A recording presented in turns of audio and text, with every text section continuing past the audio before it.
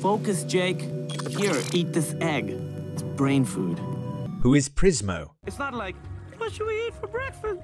We should coordinate. That's a pain. Prismo is the engine that drives the Adventure Time story in a major way.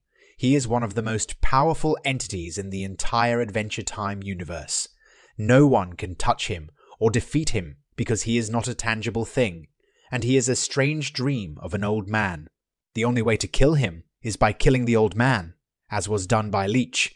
Prismo lives in an adjacent room located in the half of the multiverse where all the laws of physics operate in a completely different way because of Prismo. There are only four ways to meet Prismo in the Adventure Time world either by knowing him personally like Jake because they are friends, or by being a cosmic entity like their cosmic dog, or by collecting all the princess crowns in your world and gathering them in the hero's handbook, which will not only open the Prismo gate for you, but also allow you to travel anywhere in the multiverse.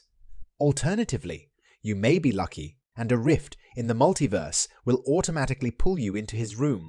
Prismo's main task is to protect the universe from unnatural problems and maintain its system, in addition to fulfilling only one wish for each person who enters the room.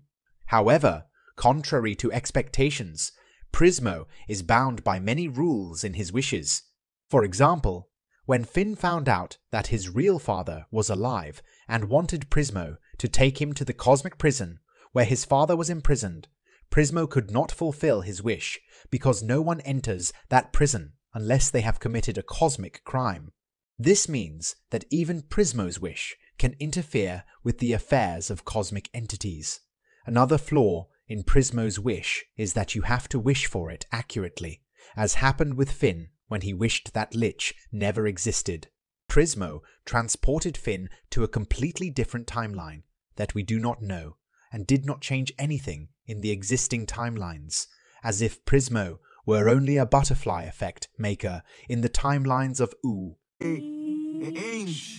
The lead, the leches, oh, Ish was for me ah. and Finn. That's all. You were with Ooo Investigator, and I'll see you in the next video. Focus, Jake. Here, eat this egg. It's brain food.